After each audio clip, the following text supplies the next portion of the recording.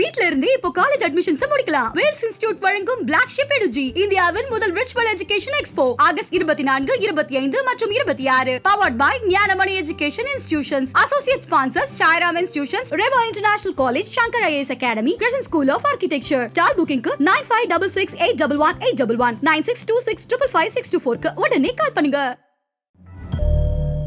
எப்படி பார்க்குறீங்க திரு விஜயகாந்த் அவர்களை? கண்ணு செவக்க அப்படி இருக்கும். ஒரு செவத்தில் காலை வச்சு ஃபைட் பண்ணுவார். ஒரு ஒரு ஜெய்ஜாண்டிக் ஹீரோ அந்த பிம்பங்கள்லாம் பார்த்தோன்னே அவர் திரையில் இருக்கிற கேப்டன் வேறு தனிப்பட்ட வாழ்க்கையில் உள்ளொன்று வைத்து புறமொன்று பேசுவாரோடு உறவு கலபாவை வேண்டும்னா. அவர் சட்டசபையாக இருந்தாலும் சரி தனிநபராக இருந்தாலும் சரி ஃப்ரெண்டாக இருந்தாலும் சரி. தமிழ் மீதான காதல் உண்டு ஈழத்து காதல் உண்டு. அதனால தான் தன் பையனுக்கு விஜய பிரபாகர். பிரபாகரன் பேர் வச்சார். ஊரில் திரைப்படத்தில் இருக்கிறவங்க எல்லாரும் முதல்ல சொல்கிறது வள்ளலார் வீட்டில் வள்ளலார் அடுப்பு ஏற்றி வச்சு அடுப்பு எறிகிற மாதிரி. கடுப்பாய் சாப்பாட்டில் என்ன வித்தியாசம்? அப்போ ராத்திரியில் எனக்கு என்ன கொடுத்தாங்களோ அது. எம்ஜிஆர் கிட்ட இருந்து வந்ததுன்றதை விட அவருக்கே எம்ஜிஆர்கிட்ட வந்ததுன்னு நான் சொல்லலை. எம்ஜிஆர் அதை செய்தார். கேப்டனை பற்றி சொல்லும்போது அவர் பையனை பற்றி ஒரு நாள் சொல்லணும். அவர் பையன் ஒரு நாள் பேசிகிட்டு இருக்கும்போது விஜய பிரபாகரன் அவருடைய மூத்த மகன் சொன்னார் அடையாளம் கேப்டனுடைய மகன்ற அடையாளம் எனக்கு இருக்கு. ரஜினிகாந்தும் கமலஹாசனும் கொடிகட்டி பிறந்த காலத்தில் தனக்குன்னு ஒரு இடத்தை ஸ்தாபிச்சு விஜயகாந்த் கலைஞர் உறவு அதே போல அவர் மீதான ஈர்ப்பு. நேர அவருடைய சமாதிக்கு போய் கதறி அழுதார் அதெல்லாம் திருவாசகத்தை பற்றி அவர் பேசுறதுலாம் கண் கலங்காதவன் தமிழ் வைகோ கிட்ட ஆன்மீகம் பேசலாம். ஆன்மீகம் பேசலாம். என்ன ஆன்மீகத்துக்கு எதிரி கிடையாது வைகோ.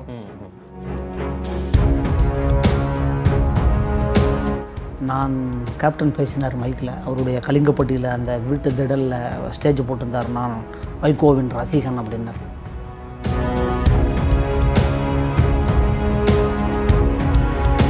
தேமுதிக அவர் அதான் சொல்லுகிறேனே அவர் மீண்டு வருவார் மீண்டும் வருவார்.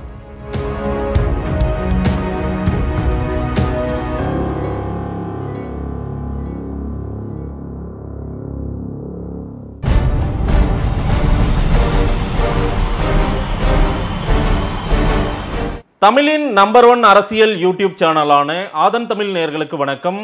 கொடிப்பறக்கது நிகழ்ச்சியில் மீண்டும் உங்களை சந்திப்பதில் மிக்க மகிழ்ச்சி. பல்வேறு துறைகளில் ஆகச் சிறந்த ஆளுமைகளை சந்தித்து நாம் நேர்காணல் எடுத்து வருகிறோம். அந்த வகையில் இன்றைக்கு நாம் பார்க்க இருப்பவர் மூத்த பத்திரிகையாளர் மைப்பா நாராயணன் நம்மிடையே இருக்கிறார். அவரிடம் கேட்பதற்கு நிறைய இருக்கின்றன. வாருங்கள் அவரிடமே கேட்போம்.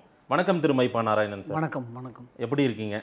வழக்கம் போல் மகிழ்ச்சியாக இருக்கேன் சந்தோஷமாக இருக்கேன். கடந்த முறை உங்களோடு திரு திருமாவளவனுடைய பிறந்தநாளுக்காக பேட்டி எடுத்துட்டு இருந்தோம். அதற்கு பிறகு ஆகஸ்ட் இருபத்தைந்து திரு விஜயகாந்த் அவர்கள் தேமுதிக தலைவர் விஜயகாந்த் விஜயகாந்தை பற்றியும் உங்களோடவே பேட்டி எடுக்க நான் வர காரணம் வந்து பெரும்பாலும் எல்லா தலைவர்களோடும் திரு மைப்பா நாராயணன் ரொம்பவும் நெருங்கி இருந்திருக்கீங்க. கடந்த பேட்டிலேயே சொல்லியிருந்தீங்க. நான் மறுபடியும் அந்த பேட்டியை முழுமையாக பார்த்தேன் நான். திரு ஸ்டாலின் உங்கள் வீட்டுக்கு வந்தாருன்னு சொல்கிறீங்க வைகோடு நெருக்கமாக இருந்திருக்கீங்க. விஜயகாந்தை பற்றி அன்றைக்கு ஏதேனும் சொல்லியிருக்கிறீங்களான்னு நான் பார்த்தேன். அதற்கு பிறகு உங்களோட பேசும்போது சொன்னீங்க நிறைய விஷயங்கள். விஜயகாந்தோடு உங்களுக்கு இருக்கிற நட்பு அதே போல் வேறு சில பேட்டிகள்லையும் நீங்கள் விஜயகாந்த் பற்றி பேசியிருக்கிறது. அதனால் விஜயகாந்தை பற்றி பேசுவதற்கும் நீங்களே பொருத்தமானவர்னு நான் முடிவு செஞ்சுட்டேன். விஜயகாந்தனுடைய பிறந்தநாள் ஆகஸ்ட் இருபத்தைந்து. எப்படி பார்க்குறீங்க திரு விஜயகாந்த் அவர்களை? நீங்கள் எப்படி ஒரு பத்திரிகையாளராக விஜயகாந்தை அணுகினீர்கள்? விஜயகாந்துக்கும் உங்களுக்குமான நட்பை பற்றி சொல்லுங்கள் சார். நீங்கள் சொன்னங்க கே பேசும்போது எல்லா தலைவர்களுடைய ஒரு நெருக்கம் என்பது ஒருவரை ஒருவர் விரும்புவது நேசிப்பது இங்கே ஒரு பைபிளில் ஒரு அற்புதமான வார்த்தை இருக்குது நேசிக்கிறவர்களே நேசிக்கப்படுவார்கள். நீங்கள் யாரையெல்லாம் நேசிக்கிறீர்களோ திறந்த மனதோடு அவர்கள் நேசிப்பார்கள். ரெண்டாவது தனிநபர் நட்பாக இருந்தாலும் சரி அரசியல் நட்பாக இருந்தாலும் சரி எந்த விதமான எதிர்பார்ப்பும் இல்லாமல் பழகினால் யாரோடும் எத்தனை யுகங்கள் வேண்டுமானாலும் பழகலாம். ஒருத்தரோட ஒரு உள்நோக்கத்தோட இவரோட பழகினா இது கிடைக்கும். இவரோட பழகினா அது அது இல்லாமல் அது இல்லாமல் அதை தாண்டி ஒரு கெமிஸ்ட்ரின்னு சொல்லுவாங்க. ஒரு கெமிஸ்ட்ரி ஒர்க் அவுட் ஆகுது நான் வந்து தென்னார்காடு மாவட்டத்தை சேர்ந்தவன். பன்ருட்டி பக்கத்தில் கன்றக்கோட்டைன்னு ஒரு கிராமம் எங்களுடைய சொந்த ஊர். எங்கள் தகப்பனார் வந்து ஸ்கூல் டீச்சர் இப்போ தென்னார்காடு மாவட்டத்திலே விழுப்புரம் விருதாச்சலம் உளுந்தூர்பேட்டை பக்கத்துலலாம் எல்லா ஊர்லேயும் இருந்திருக்கோம் நாங்கள் உளுந்தூர்பேட்டைக்கு பக்கத்தில் கிராமத்தில் இருபது வருஷங்கள் இருந்தேன் நான்.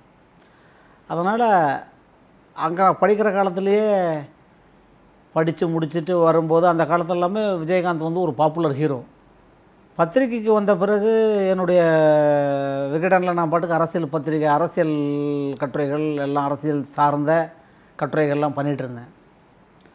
அப்போ திடீர்னு ஒரு நாள் அவர் ரெண்டாயிரத்தி அஞ்சு ஆறில் ரெண்டாயிரத்தி அஞ்சு ஆறில் ரொம்ப பாப்புலராக வந்துட்டுருக்காரு. அதுக்கு முன்னாடியே ரெண்டாயிரத்தி மூணு ரெண்டாயிரத்தி நாலுலலாம் கதிர்வேலன்னு ஒரு அற்புதமான நண்பர் எனக்கு. குமுதத்தில் கொடி கட்டி பிறந்தவர். விகடனில் இருந்தார். இப்போ குங்குமத்தில் மிக முக்கிய பொறுப்பில் இருக்கார். அவர்கிட்ட பேசிகிட்டு இருக்கும்போது அவர் விஜயகாந்துக்கு ரொம்ப ஃப்ரெண்டு கிட்டத்தட்ட ஒரு நாற்பத்தஞ்சு பேட்டி எடுத்திருக்கார் அவர்.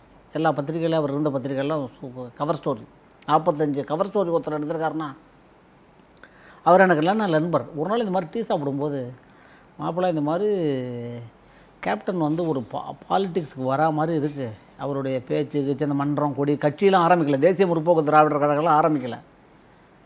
ஆனால் மன்ற கொடி அது இதெல்லாம் இருந்தது. புரட்சித் தலைவர் எம்ஜிஆருக்கு பிறகு அந்த மன்றங்கள் அது அந்த நெட்வொர்க்கு கிளை அமைப்பெல்லாம் மிக சரியாக திட்டமிடலோட அவர் பண்ணிட்டு இருந்தார்.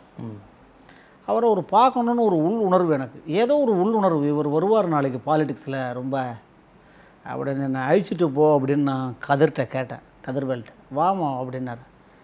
முதல் சந்திப்புலேயே நான் அவரோட போகிறேன் இவர் தான் மைப்பானாரன் அரசியல் கட்டுரெல்லாம் எழுதுகிறவர் அப்படின்ன உடனே அவரோட உட்காந்து கேப்டனோட பேசினேன். ஏதோ புதுசாக அப்போ தான் சந்திக்கிறோன்ற ஒரு ஃபீலிங்லாம் அவரை பார்த்த உடனே எனக்கும் இல்லை அவருக்கும் இல்லை.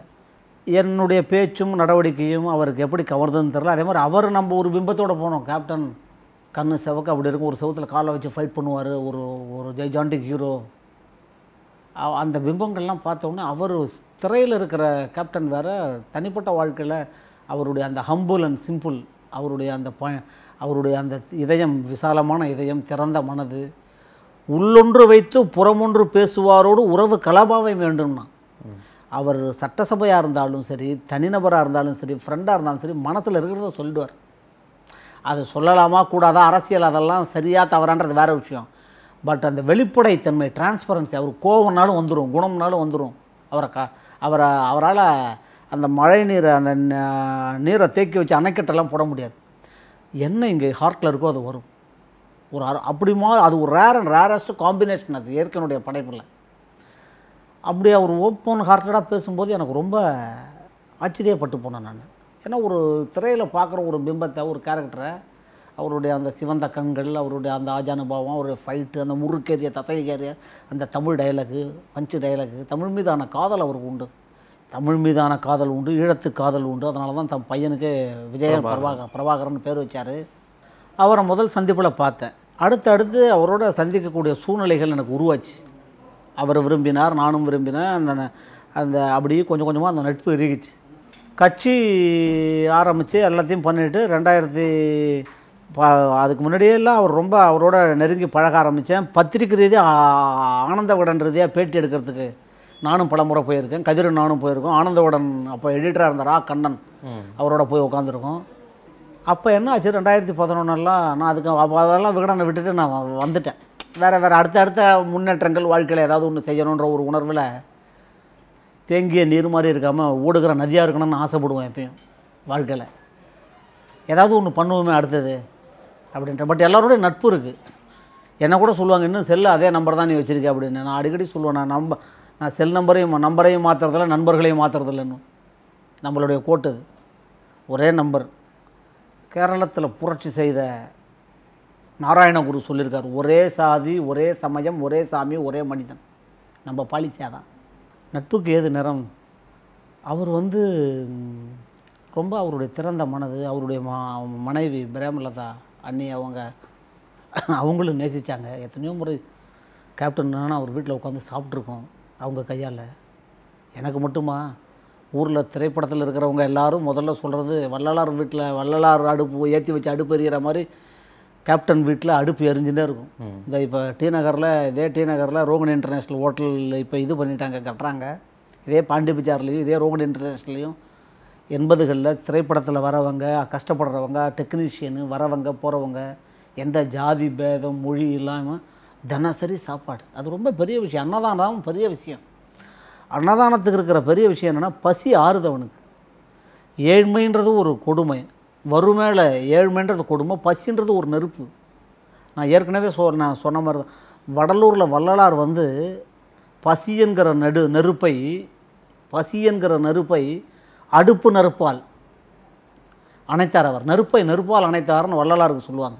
நான் ஏன் அதை வள்ளலாரை இங்கே கொண்டு வரேன் அப்படின்னா உங்கள் கையில் நீங்கள் ரொம்ப பசியாக இருக்குங்க. உங்களுக்கு ரெண்டு வேஷ்டி சட்டையோ வேறு எதையோ கொடுத்தா ஒன்றும் இல்லை. நல்ல வயிறார சாப்பாடு போட்டால் எப்படி இருக்கும்? சிலதெல்லாம் கிராமத்தில் சொல்லுவாங்க. அவன் அவனெல்லாம் சாப்பிட்டுட்டு நினைக்கணும்பா. நல்லா வயிறார சாப்பிட்டு நினைக்கணும்பா. சொல்லுவாங்க. அவர் வந்து என்ன பண்ணார்? அவருடைய மதுரையில் இருக்கும்போதும் சரி அவருடைய முறுக்க மதுரை வாழ்க்கையாக இருந்தாலும் சரி திரைப்படத்தில் வந்து கஷ்டப்பட்டு இனிக்கும் விளைவின்னு ஆரம்பித்தார் அவரோட பழகிய எந்த நண்பர்களுக்கும் அரசியலில் க மாறுபாடுகள் இருக்கலாம் நட்பு இருக்கலாம் போகலாம் வரலாம் அதெல்லாம். பட் தனிப்பட்ட ஒரு கேப்டன் பொறுத்த வரைக்கும் அவர் அந்த காலத்தில் வந்து ஜாதி மதம் பார்க்காம நம்ம இவன் சாதாரண டெக்னீஷியன் தானே கீழே லைட் பாய் தானே வருத்தன ஒரு அண்ணன் இல்லாமல் முதல்ல செட்டில் வந்து உட்காந்த உடனே அந்த காலத்தில் ஃபஸ்ட்டு எம்ஜிஆர் கேட்பாராம் எல்லாரும் சாப்பிட்டாங்களான்னு அந்த மாதிரி எல்லாரும் சாப்பிட்டோம். எம்ஜிஆருடைய தீவிர ரசிகர் வேற. அவன் எம்ஜிஆரோட தீவிர ரசிகர் இந்த கொள்கைகள்லாம் அவர் எம்ஜிஆர்லேருந்து ஆகர்ஷிச்சிட்டார். ம். எம்ஜிஆர் டூருக்கு போவார். எம்ஜிஆரோட எனக்கு பெரிய பாக்கியம் என்ன தெரியுமா? எம்ஜிஆருக்கு இப்போ ரொம்ப க்ளோஸாக இருந்த சோலைன்னு பத்திரிக்கையாளர் அண்ணா சோலை இப்போ இல்லை. எம்ஜிஆருக்கும் பெரிய அட்வைசராக இருந்தார் மேடத்துக்கும் இருந்தார் ஜெயலலிதா அம்மாக்கும். முன்னாள் முதலமைச்சர் எம்ஜிஆருக்கு இருந்தார். அவரெல்லாம் எனக்கு அவருடைய வளர்ப்பு மகன் மாதிரி நான். என்னை பிடிக்கும் அவருக்கு. அவர் நிறைய சொல்லியிருக்காரு என்கிட்ட. நைட்டு வந்து திருச்செந்தூர் தூத்துக்குடியெல்லாம் டூர் போயிட்டு ஒரு ரெண்டு மணிக்கு வந்தாருன்னா எல்லாரும் ஏதோ சுருண்டு படுத்தாங்களாம் எல்லாரும் சாப்பிட்டாங்களான்னு கேட்டாருன்னா "அஹ், சாப்பிட்டேன் அப்படின்னாரோ. மொத்தம் ரியாக்ஷன்லாம் சரியில்லை. எம்ஜிஆருக்கு தெரியாத ஆக்ஷன் ரியாக்ஷனா சரியில்லை என்ன ஒன்று கூப்பிட்டு என்ன சாப்பாடுன்னு பார்த்தேன் உடனே ஏதோ ரொம்ப எம்ஜிஆருக்கு நல்லா ஸ்பெஷலாக கொடுத்துட்டு ஃபஸ்ட் கிளாஸாக ஏன்னா லீடர் தலைவர் அவருக்கு எல்லாத்தையும் கொடுத்துட்டு இவங்களுக்கு சாதாரணமாக ஏதோ இந்த ஏ கிளாஸ் பி கிளாஸ் சி கிளாஸ்னு இருக்குல்ல கிரேடு அந்த மாதிரி ஒரு ஃபுட்டை கொடுத்துருக்காங்க. கடுப்பாய் சாப்பாட்டில் என்ன வித்தியாசம்? எனக்கு என்ன சாப்பாடு கொடுத்தாங்களோ அதே சாப்பாடே இந்த ஒரு முந்நூறு நானூறு பேர் படுத்துட்டு இருக்காங்க எலெக்ஷன் நெட்ஒர்க்கு வந்தவன் போனவன் தொண்டன் மாவட்ட செயலாளர் எல்லாரும் ஒரு பெரிய கும்பல். அப்போ நான் சொல்கிறது செவன்ட்டீஸ் செவன்ட்டீஸ்லேயும் இல்லை. அப்போ ராத்திரியில் எனக்கு என்ன கொடுத்தாங்களோ அதே மாதிரி வெஜிடேரியனும் நான் வெஜிடேரியனும் எல்லாம் வாங்கிட்டு வந்து கொடுங்க. எல்லாருக்கும் சாப்பிட்டா தான் நான் நாளைக்கு அடுத்தால வருவேன். இல்லைன்னா வரமாட்டேன் உங்களோட அப்படின்ட்டாரான் எம்ஜிஆர். இதெல்லாம் கேள்வி சோழன் என்கிட்ட சொல்லியிருக்கார். அதே மாதிரி தான் கேப்டன் மத்தியான நேரத்தில் பாண்டி விஜயாரில் கேப்டன் ஆஃபீஸுக்கு போனால் அவர் ஷூட்டிங் நடக்கிற இடமா இருந்தாலும் சரி அவர் ஆஃபீஸாக இருந்தாலும் சரி ரோகிணி இன்டர்நேஷனல் அவர் தங்கிறதா இருந்தாலும் இதெல்லாம் சொல்லி தான் கேள்வி அப்போ எனக்கு கேப்டனோட பழக்கம் கிடையாது. ஆனால் சொல் கேள்வி தான் படிச்சிருக்கேன். அவரோட பழகியவர்கள் பல பேர் சொல்லியிருக்காங்க. எத்தனையோ பேர் இன்றைக்கி சொன்னாங்கன்னா கேப்டன்னா முதல்ல அன்னதானம் சாப்பாடு. சார் உங்கள்கிட்ட மாதேஷ் ஒரு நல்ல ஒரு ரெண்டு இட்லி சாப்பிட்ருங்க நல்லா இருக்கு. நான் இட்லி சாப்பிட்டுங்கன்னு சொன்னால் உங்களுக்கு பசி தருமா? இல்லை இட்லி உங்களுக்கு பிளேட்டில் கொடுத்தா சாப்பிட்டா பசி தருமா? இந்த சாப்பிட்டா பசித்திருன்ற ரெண்டாவது ரகம் தான் கேப்டன் அதெல்லாம் பெரிய விஷயம். அது இயற்கையிலேயே வருது. அதாவது கொடையும் வள்ளல் தன்மையும் படித்து வருவதல்ல. நம்ம ரத்தத்தில் ஜீனில் இருக்கணும். அது ஜெனட்டிக் ஜீனில் இருக்கணும். அது தன் தாய் தகப்பன் அது முன்வினை செய்த பயனா இல்லை தான் கஷ்டப்பட்டு மெட்ராஸில் வந்து ரூமில் இருந்து பேச்சலராக இருந்து ஒவ்வொருத்தன் சினிமாவில் ஸ்டுடியோவில் எல்லாருமே ஸ்டார் ஆகிட்டாங்களா எல்லாருமே கோடீஸ்வரர் ஆகிட்டாங்களா எல்லாருமே வெள்ளித்திரையில் மின்னினாங்களா? அந்த கோடம்பாக்கன்ற கனவு தொழிற்சாலையில் கனவு கலைந்து போனவன் எத்தனை பேர்? கனவு நனவாமல் இருந்தவங்க எத்தனை பேர்? அவங்களெல்லாம் யாரும் சாப்பாட்டு கஷ்டப்படக்கூடாதுன்னு சொல்லி அதை செஞ்சார். அதிலவே பெரிய இல்ல எம்ஜிஆர் கிட்ட இருந்து வந்ததுன்றதை விட அவருக்கே இல்லை எம்ஜிஆர்கிட்ட வந்ததுன்னு நான் சொல்லலை. எம்ஜிஆர் அதை செய்தார். அதற்கு பிறகு ஃபீல்டில் செஞ்சவர் கேப்டன் எஸ் இல்ல அந்த அளவுக்கு எல்லாருக்கும் அது மாதிரி உணவு கொடுக்கணுன்ற எண்ணம் பாருங்க. விஜயகாந்துக்கு வந்த காரணம் அவர் மதுரையில இருந்து அவர் வந்த மதுரையிலேருந்து மதுரையிலேருந்து வந்த எல்லாருக்குமா இது வந்திருக்கு. அதல்ல ஏன்னா அதுதான் நான் சொல்கிறேன் கொடையும் இப்போ கர்ணன் இருந்தான் அப்படின்னா கார்த்திகைக்கு பிறகு மழை இல்லை கர்ணனுக்கு பிறகு கொடை இல்லைன்னு. கர்ணனோட கொடை போச்சு. கிராமத்தில் சொல்லுவாங்க கார்த்திகைக்கு பிறகு மழை இல்லை கர்ணனுக்கு பிறகு கொடை இல்லை. அதே மாதிரி கேப்டனுடைய தனிப்பட்ட பண்புகள் இதெல்லாம் ரொம்ப விஷயம். அதே மாதிரி நெருங்கிய நண்பனாக இருந்தால் அவர்கிட்ட எதை வேணால் பேசலாம் நீங்கள். அவர் சி இந்த வேட்டியில் எல்லாத்தையும் என்னால் சொல்ல முடியாது. நான் திருப்பி திருப்பி சொல்கிறேன் சில விஷயங்கள் ஏன்னா அவ அந்த என்னடா இது அதெல்லாம் பார்க்க மாட்டார். அவருக்கு அவர் இன்னொன்று அவர் எப்பயும் போல இயல்பாக இருப்பார். அவர் ஒருத்தர் கோவப்படுறதுனாலும் சட்டமன்றத்திலையாக இருந்தாலும் சரி ஃப்ரெண்டுகிட்டையாக இருந்தாலும் சரி அவர் ஒரு ஒருத்தர் வராருன்னா அவருக்காக அவர் மாற மாட்டார். இல்ல பேசும்போது அந்த சிந்தனைகள் எதை ஒத்து பேசுவார் சார்? ஏன்னா அரசியல் அந்த புரட்சி கருத்துக்கள்லாம் அவருடைய அதெல்லாம் அது. அது காரணம் என்னன்னா அவர் மாற்றம் வேணும்னு நினைச்சார். தமிழ் மீதான ஆழ்ந்த பற்று இருந்தது. அந்த பற்றின் காரணமாக தான் தன்னுடைய மகனுக்கு பிரபாகரன் பேர் வச்சார். கேப்டனை பற்றி சொல்லும்போது அவர் பையனை பற்றி ஒரு நாள் சொல்லணும். அவர் பையன் ஒரு நாள் பேசிகிட்டு இருக்கும்போது விஜய பிரபாகரன் அவருடைய மூத்த மகன் சொன்னார். கேப்டன்ட்டேருந்து வந்த ரத்தம் அது உடம்புல. அவர் ஒரு ஆச்சரியமான செய்தி சொன்னார். அங்கிள் அப்படின்னாரு. என்ன? நல்லா இருக்குங்களா? நல்லா இருக்கேன். கேப்டன் வரதுக்கு கொஞ்ச நேரம் ஆச்சு. அவரோட பேசிகிட்டு இருந்தேன். கேப்டன் மாடியிலேருந்து இறங்கி வரணும். வீட்டில் சோபாவில் இந்த மாதிரி உட்காந்து பேசியிருந்தேன் என்ன தம்பி? எப்படி இருக்குங்க? அப்படின்னு நல்லா இருக்கேன். அவங்க மேடம் வந்து பிரம்மலதா மேடம் காஃபி கொடுத்துட்டு போனாங்க. அவங்களும் நல்லா விசாரிப்பாங்க. அந்த உபசரிப்பு அதெல்லாம் சும்மா சொல்லக்கூடாது. அந்த வீட்டில் எத்தனை நாள் கை நினச்சி சாப்பிட்ருக்கேன் நான்.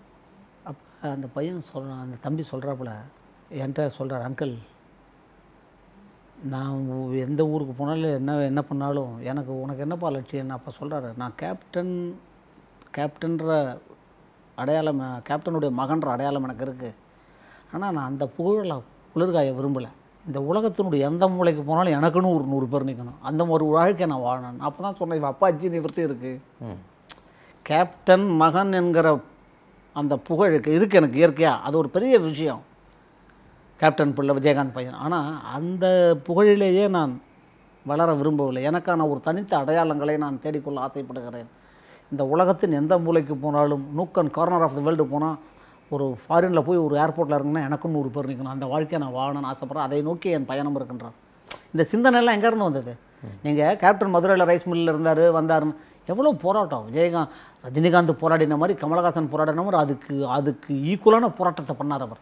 ரஜினிகாந்தும் கமலஹாசனும் கொடிகட்டி பிறந்த காலத்தில் தனக்குன்னு ஒரு இடத்தை ஸ்தாபிச்சு அதில் அடித்து கே நின்று கேம் ஆடுறதுன்றது சாரா சாதாரண விஷயம் இல்லை. ரெண்டு நாள் இருக்கலாம். மூணு நாள் இருக்கலாம். மூணு வருஷம் இருக்கலாம். முப்பது வருஷம் ஒரு ஃபீல்டில் நாற்பது வருஷம் ஒரு ஃபீல்டில் ரஜினிக்கு கமலுக்கு ஈக்குவலாக ஒருத்தர் இருக்க முடியுமா? சரி அதற்கு பிறகு வந்து அரசியலுக்கு வராரு. எதிர்க்கட்சி தலைவர் வரைக்கும் வந்தார். அதுக்கப்புறம் சரி இன்றைக்கி நம்ம நல்லாயிருக்கும் கால நேரங்கள் ஹெல்த்து இதெல்லாம் சி காலத்தின் கைகளில் கட்டப்பட்டிருக்கிறது. பட் எனக்கு பொறுத்த வரைக்கும் அவர்கிட்ட ஒரு பெரிய நல்ல விஷயம் என்னென்னா அவர் எதுலேயும் சலித்து உட்காந்துட மாட்டார். அவர் அவருக்கு இருக்கிற அந்த வில் பவர் இருக்குது தில்லும் வில்லும் இருக்குது பாருங்கள் வில் பவர் அவர் மீண்டு வருவார் மீண்டும் வருவார். அவர் அவரை நீங்கள் சாதாரணமாக நினச்சிட முடியாது. அவர்கிட்ட இருக்கிற அந்த வில் பவர்லாம் பார்த்துட்டு எங்கேயோ அதை பரமபதத்தில் காயை உருட்டி விட்டால் கீழே போகும். என்னடா உச்சத்தில் இருந்து கீழே திருப்பி மேலே வரும் அடுத்த தாயக்கட்டை சுருட்டி போகும்போது. அவர் எக்ஸ்ட்ராடனரி கேரக்டர் தன்னம்பிக்கை மனிதன்றீங்க. தன்னம்பிக்கையினுடைய உச்சம் விஜயகாந்த். அவர் ஃபீல்டுக்கு வரும்போது என்ன நிலைமை? தமிழ்நாடு அரசியல்லையே அவர் எவ்வளோ நான் சி அவர் பிறந்த நாள்ன்றதுனால நம்ம உண்மையை பேசணும். அரசியலில் இருந்தது எதிர்க்கட்சி தலைவரானார். கட்சியில் பல பேர் வந்தாங்க போனாங்க எம்எல்ஏ ஆனாங்க. அது எல்லா கட்சியிலும் நடக்கிறது. பத்து இருப்பாங்க போவாங்க பதவி இருந்தால் இருப்பாங்க பதவி இல்லைன்னா போவாங்க நல்லது கெட்டது. கட்சி நடத்துறதில் தவறு இருந்திருக்கலாம் ஆயிரம் இருக்கலாம் அதெல்லாம். அதெல்லாம் தாண்டி ஒரு தனிமனித ஆளுமை. நடிகர் சங்க தலைவராக இருந்து கடன் அடைச்சார். கலைஞர் கூட்டத்தை ஏற்படுத்தி தங்க பேனா கொடுத்தாரு. அந்த கட்ஸ் எல்லாம் நீங்கள் திரைப்படத்திலேயே ஒரு புதிய புரட்சிகளை உருவாக்கினார். எல்லாரும் ஒரு மாதிரி போகும்போது ஃபிலிம் டெக்னாலஜி திரைப்பட கல்லூரி மாணவர்கள்னு வந்து ஆர்கே செல்வமணிலேருந்து ஆபாவானன்லேருந்து புது புது இயக்குனர்களை அறிமுகம் செய்து புது புது கதைகளை புது புது உத்திகளை கொடுத்து இந்த ஆசிட் டெஸ்ட்லாம் எவன் கொடுப்பாங்க? இதெல்லாம் யாரும் ஒத்துக்க மாட்டாங்க. சரி எதுக்குடா இது? நம்ம ஒரு நல்ல பாப்புலர் ஹீரோவாக இருக்கும். ஒரு நல்ல தெரிஞ்ச டேரக்டர் பெரிய ஃபெமிலியான டேரக்டரோட நம்ம போயிட்டு நடிச்சுட்டு சேஃப்டியாக நம்ம பாட்டுக்கு லைஃப்பில் இருக்கலாம்னு சொல்லாமல் ஒரு ஒரு புது புது டேரக்டருக்கெலாம் வாய்ப்பு கொடுத்து அவங்கள பெரிய ஆளாக்கி மகிழ்வித்து மகிழ் அப்படின்னு சொல்லுவாங்க. அதுக்கு அதுக்கு சரியான ஒரு உதாரணம் விஜயகாந்த் கேப்டன் நீங்களே சொன்னீங்க அரசியல்ல அவர் வரணும்னு நினைச்சது. ஆனா கலைஞரோட ரொம்ப உறவா இருந்தார்ல ரொம்ப நெருக்கமா இருந்தாரு. கலைஞர் மீது அதீத பாசம் கொண்டவர் க திரு விஜயகாந்த் அவர்கள். விஜயகாந்த் கலைஞர் உறவு அதே போல அவர் மீதான ஈர்ப்பு எந்த அளவுக்கு இருந்ததா உங்ககிட்ட ஏதாவது? இல்லை கலைஞரை ஈர்க்காதவர்கள் தமிழ்நாட்டில் யாரும் இருக்க முடியாது. அண்ணா கலைஞர்லாம் இருக்காதவங்க ஏன்னா கலைஞர் மீதான அந்த தமிழ் கலைஞர் மீதான அந்த ஆட்சி அந்த உணர்வு விஜய் விஜயகாந்த் கேப்டனுக்கு இயற்கையிலே அந்த தமிழ் உணர்வு உண்டு. அது கலைஞர்கிட்ட இருந்ததுனால கலைஞருக்கும் விஜய் விஜய்னு அவரே விஜயகாந்த் சில சமயம் பேச்சு கேட்டு என்ன விஜய்? அப்படின்னு அந்த கரகரத்த கலைஞர் குரலில் விஜயகாந்த கேப்டன் தான் சொல்லுவாரு. கேப்டனை எப்படி கலைஞர் கூப்பிடுவாரோ என்கிட்ட சொல்லுங்க இப்போ என்ன மைப்ப என்ன? அந்த விஜய் அந்த ஸ்டைல் அவர் அப்படி வந்து நீ உட்கார்ந்தாருன்னா சேரல கலைஞர் கரகரத்த குரலில் கேப்டனை கூப்பிடுறதெல்லாம் என்கிட்ட சொல்லுவார். சிலதெல்லாம். கலைஞரை காதலிக்காதவங்க கலைஞருடைய தமிழை காதலிக்காதவங்க கலைஞருடைய யாராவது இருக்க முடியுமா தமிழ்நாட்டில்? அரசியலுக்கு அப்பாற்பட்ட நான் சொல்கிறேன் அப்போ அவருக்கு ரொம்ப அவர் மேலே பெரிய மரியாதை உண்டு கடைசி வரைக்கும். அரசியலில் பிரிஞ்சு எதிர்க்கட்சி தலைவராக கூட கூட வந்திருக்காரு. போனார். ஆனால் கடைசி வரைக்கும் கலைஞருடைய அந்த படைப்பு தமிழ் சினிமாலெல்லாம் டயலாக் கேப்டன் பேசி கீசி நல்லா அடித்து அந்த பஞ்சு டயலாக் பவர்ஃபுல்லாம் பேசுகிறதுக்கெல்லாம் ஒரு இன்ஸ்பிரேஷன் கலைஞர் தானே. வாலி சொல்லுவார் ஊக்குவிக்கிறவனை ஊக்குவித்தால் அவன் தேக்கு விற்பான். ஊக்குவிக்கிறவனை ஊக்குவித்தால் அவன் தேக்கு விற்பான். தமிழ்நாட்டில் எத்தனை பேர் தன்னுடைய சொல்லாட்சியால் எழுத்தால் செயல்பாடுகளால் நடவடிக்கைகளால் சுறுசுறுப்பால் கலைஞர் எத்தனை பேரை உட்கார வச்சுருக்காரு? இன்றைக்கி நான் உங்கள்கிட்ட உட்காந்துன்னு ஏதோ எனக்கு தெரிஞ்சதை பேசுகிறேன்னா இதுக்கு காலம் கலைஞர். அந்த தமிழ் சி அரசியலில் உங்களுக்கு மாறுபட்ட கருத்துக்கள் இருக்கலாம். அது எல்லார் கருத்தையும் எல்லாருக்கும் ஒத்துக்கணும்னு அவசியம் இல்லை. நாலு ஃப்ரெண்ட்ஸ் இருக்கோன்னா நாலு பேர் நாலு டைரக்ஷன் சிந்தனையில் இருப்பான் ஆனால் ஃப்ரெண்ட்ஸாக இருப்பான் கலைஞர் மீதான அவருக்கு உண்டான ஈர்ப்பு கடைசி வரைக்கும் உண்டு. கலைஞர் மறைந்த போது அவர் ஃபாரினில் இருந்தார். உடல்நிலை சிகிச்சைக்காக போயிருந்தார். திரும்பி. வரும்போது நேர அவருடைய சமாதிக்கு போய் கதறி அழுதார் அதெல்லாம். அதெல்லாம் வந்து உள்ளன்பு. இங்கேருந்து பெருகித்தது. இங்கே அன்பு இல்லை இங்கே இதயத்தில் ஈரம் இல்லைன்னா கண்களில். இதயத்தில் ஈரம் இல்லாதவனிடம் கண்களிலே கண்ணீர் வராது. இதயத்தில் ஈரமுள்ள மனிதர். விஜயகாந்த். அதெல்லாம் ஒன்றும் நீங்கள் அவரெல்லாம் கிராமத்துக்கெல்லாம் போனால் அவரோட டூர்லாம் போயிருக்கோம் உட்காந்துட்டு சிம்பிளாக இருப்பார். என்ன அவரோட உட்காந்து பக்கத்தில் சாப்பிட்லாம் போகலாம் வரலாம். ஈக்குவல் ட்ரீட்மெண்ட்டு நீங்கள் வெளிப்பார்வைக்கு வேறு சில பேர்லாம் இருப்பாங்க. ஆனால் எப்படி இருக்காரோ அப்படி தான் இருப்பார். சாப்பாடு கீப்பாடு பாக்கு பா பழக்க வழக்கம். அதெல்லாம் such a great person as தேமுதிகன்னு ஒரு கட்சியை ஆரம்பிச்சிட்டாரு.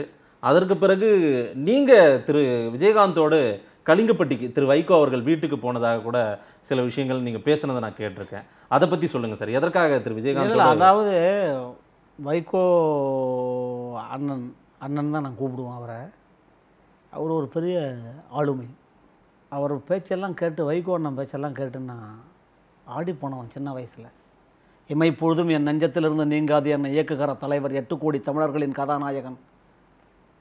உலக உருண்டையிலே தமிழன் எங்கெங்கே இருக்கிறானோ அவனுடைய இதயத்தில் நடு நாயகமாக விட்டுருக்கூடிய தலைவர் கலைஞர் அப்படின்லாம் வைகோ பேசி அந்த வார்த்தைகள் அது அது அது மட்டும் இல்லாமல் அவருடைய உழைப்பு அவருடைய ஆளுமை அவருடைய புத்தக வாசிப்பு அவருடைய படிப்பு அவருடைய அறிவாற்றல் பாராளுமன்றத்தில் அவரை அவர் சுழன்றது மக்கள் மன்றத்தில் அவருடைய பணி சலிப்பில்லாத சலைப்பில்லாத பயணங்கள் இதெல்லாம் எனக்கு அவரும் ஒரு அவர்கிட்ட ஒரு ட்ராவல் உண்டு தனியாக ஒவ்வொருத்தட்டும் ஒரு ட்ராவல் கேப்டன்னா இது ட்ரெயின் மாதிரி S five S four S three coach S four coach S five coach S ஃபோரில் பிறந்த நாளுக்கும் இல்லை இல்லை எஸ் ஃபோரில் எஸ் ஃபோரோட முடிஞ்சிடும் சரி. S three S two S one S eight S eleven வரைக்கும் இருக்குல்ல. இது ஒரு ஒரு கோச் டிபார்ட்மெண்டல் ஒவ்வொரு சி ஒருத்தர்கிட்ட நீங்கள் இவர்கிட்ட வேறு மாதிரி பேசலாம் அவர்கிட்ட வேறு மாதிரி பேசலாம். எல்லார்ட்டையும் இருக்குது அப்போ அவரோட கேப்டனோட நாங்கள் கலிங்கப்பட்டிக்கு போனோம். நல்ல warm reception red carpet welcome ஒரு நாடாளுமன்ற தேர்தல் சமயத்தில் நாங்கள் கலிங்கப்பட்டிக்கு போனோம். திருநெல்வேலிக்கு போயிட்டு நான் சென்னை அவர் டூரில் இருந்தார் கேப்டன் திருநெல்வேலிக்கு நான் மெட்ராஸ்லேருந்து போய் ஜாயின் பண்ணிட்டேன்.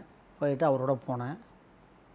வீட்டில் நல்ல ஸ்டேஜ் எல்லாம் போட்டு வைகோவே முன்னாடி இருந்து அவர் சாதாரண ஆள் இல்லை வைகோ. தமிழ்நாட்டில் நமக்கு தமிழ்நாட்டினுடைய உரிமைகளுக்காக மக்கள் உரிமைகளுக்கு மலேசியா தமிழர்னால் முதல்ல அறிக்கை விட்றாரு. ஈரானில் ஒருத்தன் ஜெயிலில் இருக்கான்னா இங்கேருந்து அவர் தான் லெட்டர் விட்றாரு. சரி இன்னைய வரைக்கும் ஏதோ பண்ணிகிட்ருக்கார் அவர். வீட்டில் சும்மா இல்லை ஸ்கைப்பு ஜூமு ஏதோ பேசின்னு இருக்கார் அந்த உணர்வுகள் அந்த மக்களுடைய விடுதலைக்காக ஏதாவது தொடர்ந்த பயணம் செய்யணும் அவரால். அவரால் இயங்காமல் இருக்க முடியாது செயல்படாமல் இருக்க முடியாது. அது ரொம்ப பெரிய விஷயம். ஒரு கட்டத்தில் சில பேருக்கு சளிப்பு வந்துடும் நெவர் அவர் அவரோட நீங்கள் வைகோ அண்ணன் கேட்ட உடனே நான் எனக்கு ஞாபகம் வருது அவரோட அவர் நிறைய மதுவிலக்குக்கு எதிராக நடந்திருக்காரு ஊழலை எதிர்த்து நடந்திருக்காரு. எனக்கு தெரிஞ்சு தமிழ்நாடு பூரா அவர் அதிகமா ந- நடைப்பயணம். நடையில் நின்றுயர் நாயகன் கூட நான் அவரை பற்றி எழுதின ஒரு தடவை ராமனை கம்பராமாயணத்தில் ராமனை பற்றி கம்பன் சொல்லுவான் நடையில் நின்றுயர் நாயகன் அந்த கேரக்டர் அவருக்கு நிறைய புத்தக வாசிப்பு எந்த தவறான பழக்கங்களும் கிடையாது. அப்படிலாம் ஒரு அரசியல் ரீதியான மாறுபட்ட கருத்துக்கள் எல்லாரோடும் இருக்கும். எல்லாருக்கும் எல்லாரோடும் இருக்கும். எல்லாரும் எல்லாரையும் ஏற்றுக்க முடியாது. அது இயற்கையில் சாத்தியமில்லை. ஆனால் வைகோவனுடைய நடை அவருடைய படிப்பு மக்களுக்கான சாமானிய மக்களுக்கான அவருடைய குரல் அதெல்லாம் சாதாரண விஷயம் இல்லை. ஈழத்தமிழர்களுக்காக இருக்கட்டும் மலேசிய தமிழர்களாக இருக்கட்டும் தமிழ்நாடு தமிழர்களாக இருக்கட்டும் யாருக்காக இருந்தாலும் முதல்ல ஏதாவது ஒன்றா ஃபஸ்ட்டு ஒரு லெட்டர் விடுவார். ஸ்டெர்லைட்னா ஹைகோர்ட்டில் இன்றைக்கி தீர்ப்பு சொல்கிறாங்கன்னா இருபத்தஞ்சி வருஷம் ஒருத்தர் போராடி இருக்கார் முப்பது வருஷம்.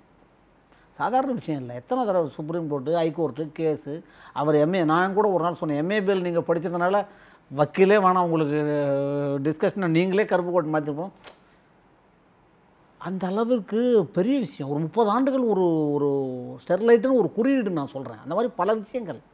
எத்தனை நாள் இந்த விவசாயத்துக்கு நடக்கிற அநீதியை எதிர்த்து ஊழலை எதிர்த்து நான் அவரோட திருநெல்வேலியில் குருவிக்கு அந்த தாமிரபரணியில் கூற குறுக்குத்துறையில் குளிச்சுட்டு அவரும் நானும் நதியில் குளித்தோம் குளிச்சுட்டு நான் நடந்து வந்தேன். அவர் நடக்கிறனால நடக்க முடியல. அவர் வயது என்ன என் வயது என்ன? திருநெல்வேலியிலேருந்து கோவில்பட்டி வரைக்கும் அவரோட நடந்தேன். அதுக்கப்புறம் அவர் என் தோளில் தட்டி உங்களால் உங்கள் உங்களால் முடியாது. நான் சென்னையில் உங்களை பார்க்குறேன் நீங்கள் நான் ஒரு கவரேஜுக்கு தான் போனேன். விகடனில். வாக்மேன் பைக்கோ இப்போதுன்னு அது விகடனில் ரேப்பர் ஸ்டோரியாக வந்தது. திருநெல்வேலியிலேருந்து கோவில்பட்டி வரைக்கும் அவர் இங்கே ஒரு இங்கே ஒரு இங்கே ஒரு கால் வச்சாருன்னா அங்கே ஒரு கால் வைக்கிறார். ஸ்டெப்ஸே அந்த ஃபாஸ்ட்டு அவர் வேகத்துக்கு நம்மளால் நடக்க முடியல. கோவில்பட்டி வரைக்கும் வந்து பார்த்தவர் அவர் முன்னாடி எங்கேயோ போயின்னு நிறைய தொண்டர்கள் ஆயிரம் ஐநூறு பேர்லாம் நிறைய பேர் வராங்க. பின்னாடி நான் பின்னாடி வர முடியும். பார்த்தார் எங்கன்னு. பார்த்துட்டு அப்புறம் நான் சொன்னேன் வேலைகள் இருக்குது அவரும் சொன்னார் நான் சென்னையில் பார்க்குறேன் அப்படிப்பட்ட அந்த அவரும் நிறைய ட்ராவல் உண்டு. பத்திரிகையிலையும் தனிப்பட்ட முறையிலையும் இலக்கியங்கள் பேசலாம் அரசியல் பேசலாம் ஆன்மீகம் பேசலாம். திருவாசகத்தை பற்றி அவர் பேசியதெல்லாம் கண் கலங்காதவன் தமிழ் வைகோ கிட்ட ஆன்மீகம் பேசலாம். ஆன்மீகம் பேசலாம். ஏன்னா ஆன்மீகத்துக்கு எதிரி கிடையாது வைகோ. திருவாசகம் பேசியிருக்காரு அவர். அவர் திருவாசகம் பேசி எத்தனை பேர் கேட்டிருக்காங்க? இல்ல பேசியிருக்காரு. ஆனா பகுத்தறிவு பெரியார் கலைஞர் நான் என்ன கேட்குறேன் இப்போ நான் பெரியாரதை படிக்கிறேன்னு வச்சுங்களேன் பெரியாருடைய கடவுள் நம்பிக்கை கடவுளை கும்பிடாதேன்னு சொல்லுவார். அதை என்னால் ஏற்றுக்க முடியாது. ஆனால் பெரியாருடைய பெண் விடுதலையை படிக்கலாமே? எல்லார்ட்டையும் எல்லாருக்கும் டிபார்ட்மெண்டல் ஸ்டோர் உனக்கு டிபார்ட்மெண்டல் ஸ்டோருக்கு நீங்கள் போகிறங்க ஒருத்தர் பிரெட் எடுக்கிறாங்க ஒருத்தர் பால் எடுக்கிறாங்க ஒருத்தர் நூடுல்ஸ் எடுக்கிறாங்க ஒருத்தர் ஏதாவது அவருக்கு பிடிச்சத வேற ஒரு ஐட்டத்தை எடுத்துன்னு வர்றாரு. இதை தான் போய் எடுக்கணும்னு அவசியம் இருக்காது அதாவது. எல்லார்ட்டையும் எல்லாம் பேசலாம். ஹைகோர்ட்டெல்லாம் நீங்கள் ஆன்மீகம் மணிக்கணக்கில் பேசலாம். அழுவார் பாசுரங்களெல்லாம் அவ்வளோ கேட்பார் அவர். விரும்பி கேட்பார் சொல்லுவார். ஒரு நாள் ஏதோ ஒரு நாள் சொல்லும்போது இது கேட்டார் என்னென்னு இது எந்த இது எங்கே வருதுன்னார் அவர். ஃபோன் பண்ணார் அதுக்கப்புறம் நான் பேசினேன் கூற்றமும் சாரா குடுவினையும் சாரா தீ மாற்றமும் சாரா வகையறிந்தேன் ஆற்றங்கரை கிடக்கும் கண்ணன் கடல் கிடக்கும் மாயன் உரை கிடக்கும் உள்ளத்து எனக்கு. ஆழ்வார் சொல்கிறாரு கண்ணன் என் இதயத்தில் இருக்கான். பெருமாள் வந்து என்னை இயக்குறான் இறைவன். இந்த இந்த பரம்பொருள் என்னை இயக்குகிறது இயக்குகிறான். அவன் இருக்கும்போது எனக்கு என்ன கவலை? என்னை எவன் என்ன செய்ய முடியும்? கூற்றமும் சாரா கொடு வினையும் சாரா. எமனும் ஒன்றும் செய்ய முடியாது என்னுடைய தீவினைகளும் ஒன்றும் செய்ய முடியாது. கூற்றமும் சாரா குடு வினையும் சாரா தீ மாற்றமும் சாரா வகையறிந்தேன். ஆற்றங்கரை கிடக்கும் கண்ணன் கடல் கிடக்கும் மாயன். பார்க்கடலில் படுத்துட்டு இருக்கிற பரந்தாமன் என் நெஞ்சத்தில் இருக்கான் இதய தாமரையில் இங்கே இருக்கான். என்னை யார் என்ன பண்ண முடியும்னு சொன்ன உடனே அதை அதை அகமகிழ்ந்து வரவேற்றார் அவர். உடனே என்னோட அவர் திருவள்ளிங்கனி பார்சாயுத கோயிலுக்கு ஒரு வாரம் நீங்கள் எதிர்பார்க்க முடியாது. நட்பு வேறு சார். நான் திருப்பி திருப்பி என்ன சொல்கிறேன் அவருடைய ஒரு ஸ்பீச் பார்லிமெண்ட்டில் பிடிக்குது. திருவாசகத்தை பற்றி மியூசிக் அகாடமியில் இளையராஜா இதில் பேசினார் அவர். அற்புதமான உரை. உண்மையிலேயே திருவாசகத்தினுடைய மாணிக்க வாசகருடைய திருவாசகம் ஒரு ஆன்ம விடுதலை. ஒரு மனிதன் ஒரு அந்த இந்த உடலில் இருக்கிற உயிர் இறைவனை நோக்கி பயணப்படுகிற போது எதிர்கொள்கிற இடர்பாடுகள் ஆனந்தம் அச்சம் பயம் அத்தனை அத்தனையும் தாண்டி ஒரு இறைவனோடு ஒரு மனிதனுடைய ஆத்மா எப்படி ட்ராவல் ஆகுதுன்றதை சொல்கிறார் திருவாசகத்தில் மாணிக்க வாசகர். இறைவன் சொல்ல சொல்ல மாணிக்க வாசகர் சொல்ல இறைவன் எழுதினது அது. மனிதன் சொல்ல சொல்ல இறைவன் படைத்தது. மாணிக்க வாசகர் சொல்கிறார் இறைவன் எழுதுகிறான் நம்ம ஒருத்தர் சொன்னால் இன்னொருத்தன் பேனாவே தர மாட்டேங்கிறான் எழுதுறதுக்கு என்ன விளையாட்டான விஷயமா? அதெல்லாம் பேசலாம் நீங்கள் அப்படிப்பட்ட வைகோ அவரோட ஏற்கனவே நல்ல ஒரு கெமிஸ்ட்ரி இருந்தது. அப்புறம் இவரோட ட்ராவலில் இருக்கும்போது கூட்டணியில் இருந்தாங்க அழைச்சிடுவாங்கன்னவங்க கலிங்கப்பட்டிக்கு போகணும் நல்ல ரிசப்ஷன் நல்ல ஒரு பெருந்தன்மை. ஏன்னா கேப்டன் அர சினிமாவில் பெரிய ஆள் அரசியல்லையும் வந்துட்டார். அவர் எழுபத்தேழு எண்பதில் அதுக்கு முன்னாடியிலேருந்தே பார்லிமெண்ட்டில் இருக்கார். கலைஞருடைய போர் வால் வைகோ. கலைஞர் அவர் வந்து அவர் வீட்டுக்கு போகும்போது அவங்க மதர் அவங்க அம்மா மாரியம்மாள். அவங்க அதெல்லாம் பெரிய பாக்கியம். அவங்க அவங்க ஒரு ப அவங்க ஒரு இடத்துல நாலு பேர் அவங்க நான் வைகோ அண்ணன் விஜயகாந்த். கேப்டன் நாலு பேர் ஒன்றா உட்காந்து சாப்பிட்டோம் நல்ல சாப்பாடெல்லாம் போட்டாங்க. நல்லா பேசினாங்க. அப்போ நான் கேப்டன் பேசினார் மைக்கில் அவருடைய கலிங்கப்பட்டியில் அந்த வீட்டு திடலில் ஸ்டேஜ் போட்டிருந்தார். நான் வைகோவின் ரசிகன் அப்படின்னார். வந்து அவ- அவருடைய பேச்சுக்கு அவருடைய வைகோவின் பேச்சுக்கு ரசிகன் அப்படின்னாரு. அது நல்லா இருந்தது. அது ஒரு பெரிய அவங்க அம்மா மதுக்கடைக்கு எதிராக கடைசி காலத்தில் எத்தனை போராட்டங்கள். அவங்க சி இவர் இந்த அளவுக்கு பேசுகிறார் நெருப்பு பந்து மாதிரி இருக்காருன்னா வைகோ வந்து ஒரு நெருப்பு பந்து. வைகோவை அந்த நெருப்பு பந்தை சுமந்த கருப்பை எப்படி இருக்கும்? சாதாரணமா? அது இல்லை நீங்கள் பெரிய விஷயம் அதெல்லாம். அது அதெல்லாம் அங்கேருந்து தானே வரும். நீங்கள் வைகோவை பற்றிலாம் பேசினா கவிஞர் காசியானந்தனுடைய ஒரு வார்த்தை எனக்கு வரும். இருப்பாய் தமிழா நெருப்பாய். இருப்பாய் தமிழா ஆமாம் அவர் அந்த அம்மா அவங்களுக்கு வயசான காலத்தில் அந்த மதுக்கடைக்கு அந்த ஊருக்கு வரக்கூடாது. மதுக்கடை எதிர்த்து போராடி எல்லாம் பண்ணி சாதாரண விஷயம் இல்லை. அவர் சார் அவர் எவ தமிழ்நாட்டினுடைய நலனுக்காக தான் நடந்தார் வைகோ. அப்படிப்பட்ட ஒரு சங்கம் அந்த வைகோ வீட்டுக்கு கேப்டன் போகிறாரு நல்ல வார்ம் ரிசப்ஷன் இருந்தது. இவரை அவர் பாராட்டினார் அவரை இவரை பாராட்டினார். அந்த ஒரு சந்திப்பு நல்லா இருந்தது. கலிங்கப்பட்டி வீட்டுக்கு எத்தனையோ பேர் வந்திருக்காங்க. அந்த காலத்தில் ராஜாஜி வந்திருக்காரு கலைஞர் போயிருக்காரு பசும்பொன் தேவர் வந்திருக்காரு. அது பெரிய பாரம்பரியமுள்ள குடும்பம் அவங்க குடும்பம். சாதாரணம் இல்லை. அவங்க அந்த ஊரில் பெரிய வாழையடி வாழையாக வழித்தொன்றல்கள் ஒன்று அந்த மாதிரி பாரம்பரியமிக்க குடும்பம். அந்த வீட்டுக்கு வராத தலைவர்கள் கிடையாது. காமராஜர் வந்திருக்காரு. அவரை ஒரு பெரிய பாரம்பரியம். அங்கே அந்த வீட்டுக்கு கேப்டனோட போய் அவங்க வைகோவும் வைகோ அவங்களுடைய அம்மாவோடையும் உட்காந்துட்டு சாப்பிட்ற பாக்கியம் எத்தனை பேர் கிடைக்கும்? அது என்ன சாதாரண விஷயம்? அது ஒரு பெரிய நிகழ்வு அது. அதெல்லாம் மறக்கவே முடியாது வாழ்க்கையில். எத்தனை ஜென்மம் எடுத்தாலும் மறக்க முடியும். தேமுதிகவின் அரசியல் பயணம் எப்படி இருக்கும் சார்? மீண்டும் விஜயகாந்த் மீண்டு வருவார் மீண்டும் வருவார்னு நீங்களே பதிவு பண்ணியிருந்தீங்க. விஜயகாந்த் மீண்டு வருவார் அப்படின்ற நம்பிக்கையோடு நாமெல்லாம் இருப்போம். ஆனால் அவர் தேமுதிகவின் உயரத்திற்கு எந்த அளவுக்கு அடுத்த கட்ட ஒரே ஒரு விஷயம் ஒரு அரசியல் கட்சி தோன்றுவதும் வளர்வதும் வெற்றி பெறுவதும் வீடுவதும் காலத்தின் கைகளிலே கட்டப்பட்டிருக்கிறது. அது எல்லா கட்சியுமே. எந்த கட்சியும் இது விளக்கல. கலைஞர் பார்க்காத தோல்வியா? அவர் எழுந்து வரல திருப்பி. ஆனால் அவருடைய அதுக்கு சலிப்பு இல்லை. இதே தொண்ணூத்தொன்னில் கலைஞர் அறிவாலயத்தில் இருக்கும்போதெல்லாம் குறிப்பிட்ட சில பேர் தான் இருப்பாங்க. அதுக்கு பிறகு அவர் எழுந்து வந்தார். வெற்றியோ தோல்வியோ அதில் அது அதை கண்டு பயப்படுகிறவன் ஒன்றும் செய்ய முடியாது. விஜயகாந்துக்கு இயற்கையிலேயே தில்லு உண்டு. சினிமாவில் சரி உடல்நலம் எல்லாமே உடல்நலம் மனநலம் எல்லாமே நம்ம வந்து இது வந்து என்னென்னா நீங்கள் எதையுமே இன்றைக்கி அசியூம் பண்ண முடியாது. நேற்று அப்படி இருந்தோமே இன்றைக்கி இப்படி இருக்கமே நாளைக்கு இப்படி இருக்கும். நம்ம எல்லாமே வாழ்க்கையில் வெற்றியோ தோல்வியோ கட்சியோ அரசியலோ தனிநபரோ எல்லாமே காலத்தின் கைகளிலே கட்டப்பட்டிருக்கிறது. ஆனாலும் கூட தனிப்பட்ட முறையில் அவருடைய அந்த வில் பவர் இருக்குல்ல அந்த தன்னம்பிக்கை இருக்குல்ல அது வந்து அசாத்தியம். அந்த அதில் தானே அவர் இவ்வளோ வெற்றி பெற்றே இருக்கார்.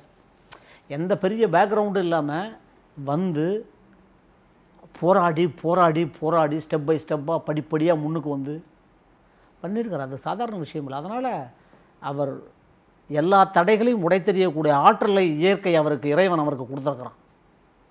இது அறுபத்தி எட்டாவது பிறந்தநாள் விஜயகாந்துக்கு. என்ன சொல்ல விரும்புறீங்க சார் இல்லை விஜயகாந்த் கேப்டன்ட்டே தான் நம்ம கற்றுக்கிறதுன்னா அவருடைய ஈகை. ஈதல் இசைப்பட வாழ்தல் அதல்லாது ஊதியமில்லை உயர்க்குன்னா. அவருடைய அந்த வள்ளல் தன்மை அடுத்தவனுடைய பசு பசியை போக்குகிற பெருந்தன்மை நாடி வந்தவர்களுக்கு முடிந்தவரை உதவி செய்தல். தமிழன் என்று சொல்லடா தலை நிமிர்ந்த நில்லடான்னு வர அவருடைய கோட். தமிழன் என்று சொல்லடா தலை நிமிர்ந்து. தலை நிமிர்ந்து நில்லடா. அவர்கிட்ட எல்லார்கிட்ட இருக்கிற நல்ல பண்புகள் அதை கற்றுக்கணும் அவர்கிட்ட இருக்கிற அந்த போராடுகிற குணம். ஒரு யாரோ ஒரு டேரக்டர் சொன்னார் ஒரு மீட்டிங்கில் எனக்கு ஞாபகம் இல்லை. ஒரு பச்சை புல்லட்டு ஒரு புல்லட் வச்சுருப்பார் அந்த காலத்தில்.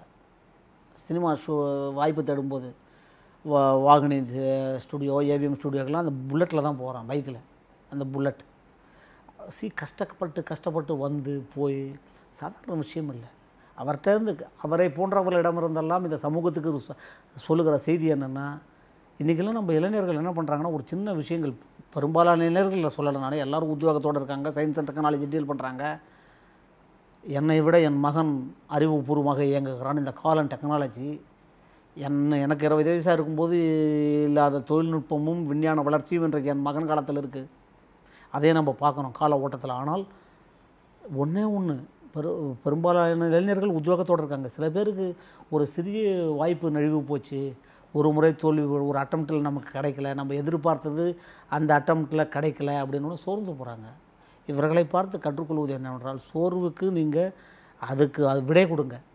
அந்த தன்னம்பிக்கை உத்வேகம் இன்று அல்லது நாளை அல்லது நாளை மறுநாள் நம்ம அதை நோக்கி அதாவது விவேகானந்தர் சொல்லுவார் அந்த அன்டில் த மார்ச் நீ அந்த பயணத்தை தொடர்ந்துட்டே இரு அரே சவை ஐயோ உனக்கு உனக்கு அளவு கடந்த ஆற்றல் உன்னிடம் இருக்கிறதுன்னுவார்.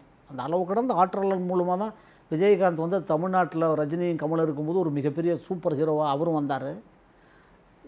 அரசியலில் வந்து ஒரு எதிர்க்கட்சி தலைவராக வரதெல்லாம் சாதாரண விஷயம் இல்லை. அதெல்லாம் ரொம்ப சான்ஸ் ரொம்ப ரிமார்க்கபிள் அந்த இடத்தை தக்க வைத்து கொண்டாரா? அதற்கு பிறகு மீண்டும் அந்த இடத்திற்கு வர முடியுமான்றதெல்லாம் காலத்தினுடைய கைகளில் கட்டப்பட்டிருக்கிறது. பட் ஆனால் அவரை தனிப்பட்ட முறையில் என்னுடைய என்னுடைய என்னென்றால் அவர் சோர்ந்து போக மாட்டார் அவர் விஜயகாந்தி தொட முடிஞ்சு போச்சு அப்படின்லாம் நம்ம சொல்ல முடியாது. ஏனென்றால் அந்த பல க பல கணக்குகளை பல தனிநபர்களுடைய க கணக்குகளை எல்லாம் தவிடுபடியாக்கியர் அவர் அவருக்கு அந்த ஆற்றலை இறைவன் கொடுத்துருக்கிறான் இயற்கை கொடுத்துருக்கிறான். அதாவது திரு திருமாவளவனாக இருக்கட்டும் விஜயகாந்தாக இருக்கட்டும் வைகோவாக இருக்கட்டும் கலைஞராக இருக்கட்டும் ஸ்டாலினாக இருக்கட்டும் உங்ககிட்ட இவங்களை பற்றியெல்லாம் நான் பேட்டி எடுக்கணும்னா ஒரு சீரியஸாக தான் எடுக்கணும் போல தெரியுது. அதாவது தொடர்ச்சியாக பகுதி ஒன் பார்ட் ஒன் பார்ட் டூன்னு கொண்டு. நீங்கள் ஸ்டா இது சொல்கிறதுனால சொல்ல ஸ்டாலின் நண்பர் ஸ்டாலின் திராவிட முன்னேற்ற கழகத்தினுடைய தலைவர் தமிழகத்தினுடைய சட்டமன்ற எதிர்க்கட்சி தலைவர் விளையாட்டுக்கு சொல்லலை அவரோட நிறைய டூர் போயிருக்கேன் ட்ராவல் பண்ணியிருக்கேன். மிக கடுமையான உழைப்பு அவர்லாம். நீங்கள் சும்மா ஒரு இடத்துக்கு வந்துட முடியாது. கலைஞருடைய மகன் அப்படின்றதுனால ஒரு ஸ்தானம் கிடச்சிடாது. எத்தனை ட்ராவல் எவ்வளோ பயணங்கள்? ஒரு உயரங்களில் நம்ம ஏணியை வச்சு ஏற்றி விட முடியாது. எவ்வளோ ட்ராவலு எவ்வளோ சலிப்பு இல்லாத பயணங்கள்? எத்தனை அதெல்லாம் சி ஒரு உயரங்களுக்கு ஒரு ஒரு கலைஞர்ன்றது ஒரு விசிட்டிங் கார்டு தான். அந்த விசிட்டிங் கார்டை வச்சுட்டு கலைஞர் மகன் கலைஞர் அதை வச்சுட்டு ரொம்ப நாள் இருக்க முடியாது. பட் அதை தாண்டி இத்தனை வருஷமாக அவர் வந்திருக்காரு. முப்பத்தெட்டு பார்லிமெண்ட் சீட்டு ஜெயிச்சிருக்காரு. நூற்றி அஞ்சு மேலே எம்எல்ஏ சட்டமன்றத்தில் வைப்ரண்ட்டாக இருக்கார். அது காரணம் என்னென்னா ஒரே நாளில் இதெல்லாம் நடந்தது. இது ஜீபூபா அலிபாபா குகை கிடையாது. அரசியலில் தினம் இந்த களமாடுகிறவர்களுக்கு மட்டுமே இங்கே களம் வெற்றி தரும். களமாடணும். களமாடணும் நடமாடணும் மக்களோட மக்களாக இருக்கணும். மக்கள் பிரச்சனைகளுக்கு டெய்லி குரல் கொடுக்கணும் மக்களை சந்திக்கணும் விமர்சனங்களை சந்திக்கணும். சாதாரண விஷயம் இல்லை இது.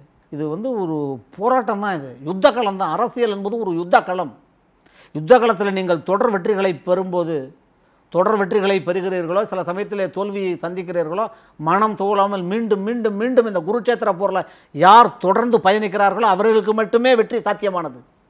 அதெல்லாம் ஸ்டாலின் வந்து எதிர்க்கட்சி தலைவராக இன்றைக்கி இருக்கார். இத்தனை பவர்ஃபுல்லாக இருக்கார் இன்றைக்கி தமிழ் அதெல்லாம் விளையாட்டால் ஒரு நாளில் ஏற்படுறது கிடையாது. சரி நம்ம எல்லாத்தையும் போ நியாயமாக பேசணும் பொதுவாக பேச அதெல்லாம் கலைஞர்ன்றவர் ஒரு விசிட்டிங் கார்டு அதை தாண்டி அவருடைய பயணம் அவர் எவ்வளவு ட்ராவலு எத்தனை பண்ணியிருக்காரு என்ன சாதாரண விஷயமா இது. ஒரு வெற்றியை அவ்வளோ சீக்கிரம் இயற்கை நமக்கு கொடுத்துறாது. அதற்கு அதுக்கு சிலுவைகளை நாம் சுமக்க வேண்டும். சிலுவை பாடுன்னுவான். நீங்கள் அவங்களோடலாம் நெருங்கலை சார். அவங்களுடைய ஒவ்வொரு அசைவையும் ரசித்து இருக்கீங்க அதனால தான் நீங்கள் இவ்வளோ பெரிய விஷயங்களாக சொல்கிறீங்க இன்னும் நிறையா இருக்குது நிறைய நீங்கள் பேசிகிட்டே இருக்கணும். திரு. விஜயகாந்தை பற்றி நீங்கள் சொன்ன விஷயங்கள் அவருடைய பிறந்தநாளுக்கு நாம் அவர்கிட்ட அவருக்காக பேசியிருக்கிறோம். நிச்சயம் அவர் குணம் பெற்று மீண்டும் அரசியலில் புத்துயிர் பெற்று அவர் தேமுதிக அதான் சொல்லுகிறேனே அவர் மீண்டு வருவார் மீண்டும் வருவார். இந்த இந்த சொல்லாடலோடு நான் வந்து இந்த நேர்காணலை முடித்துக் கொள்கிறேன். நிறைய விஷயங்கள் சொல்லியிருக்கீங்க. மக்கள்கிட்ட கொண்டு போய் கொடுப்போம். நன்றி திரு. மைப்பா நாராயணன் சார். நன்றி நேர்களே மீண்டும் ஒரு கொடி நிகழ்ச்சியில் சந்திப்போம். நன்றி வணக்கம்.